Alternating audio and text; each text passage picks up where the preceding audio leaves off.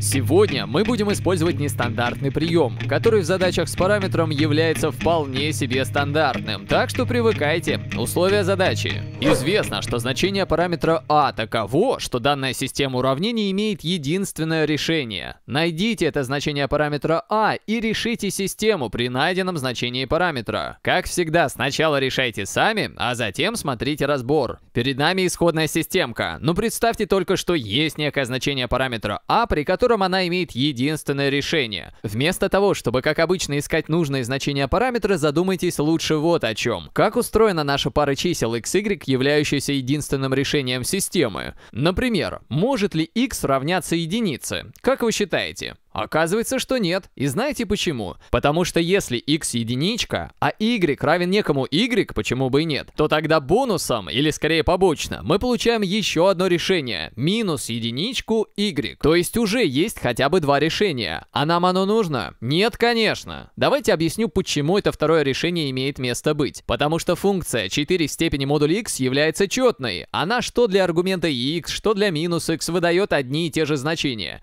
Та же самая история с логарифмами в левой и правой частях второго уравнения системы. Относительно x функции четные. А больше нигде x и не было в нашей системе. Так что давайте обобщим. Если пара xy является решением системы, то и пара минус xy автоматически разрешает ее. Осмыслите это как следует и попробуйте понять, при каком же тогда вообще значении x существует единственное решение. Кликните паузу, подумайте, а сейчас уже ответ. Единственное решение системы возможно только при x равном нулю, только нолик не имеет себе противоположного. Но если x 0, то не проблема найти y из первого уравнения системы. И окажется этот y равен единице. То есть, если уж и есть какое-то единственное решение нашей системы, то задается оно только лишь парой чисел 0, 1. И да пребудет с вами двоичный код. Ну да ладно, нам осталось всего ничего. Требуется выяснить, при каких таких значениях параметра а наша система имеет решение 0, 1 и никаких других больше. Это важное условие.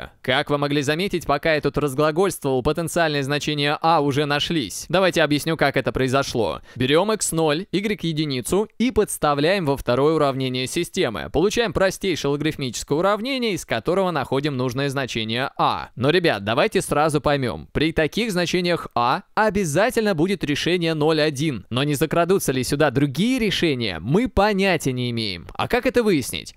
Давайте возьмем значение а и подставим его во второе уравнение системы. В первом вообще ашечки нет, ясное дело. Единичку представим как логарифм 2 по основанию 2, а затем решим знакомое уже нам уравнение. В первом случае я подставляю а равное единице. Мы будем искать количество решений этого уравнения и, следовательно, системы в целом. Логарифмы что слева, что справа имеют одинаковое основание. Не забывая про ограничения на аргументы, переходим к равенству этих самых аргументов. Легко получаем произведение произведение равно нулю, а это значит, что либо x 0, либо все, потому что y не может равняться нулю, посмотрите на натуральный логарифм в первом уравнении. Ну а x в квадрате плюс 2 вообще число положительное. Так что при а равном единице мы впрямь имеем единственное решение системы 0,1. Ну а теперь беремся за его братишку, а равное минус единице, подставляем это значение во второе уравнение системы и получаем похожую ситуацию. Похожую, но не такую же, потому что если вынести x в квадрате y в квадрате за скобки,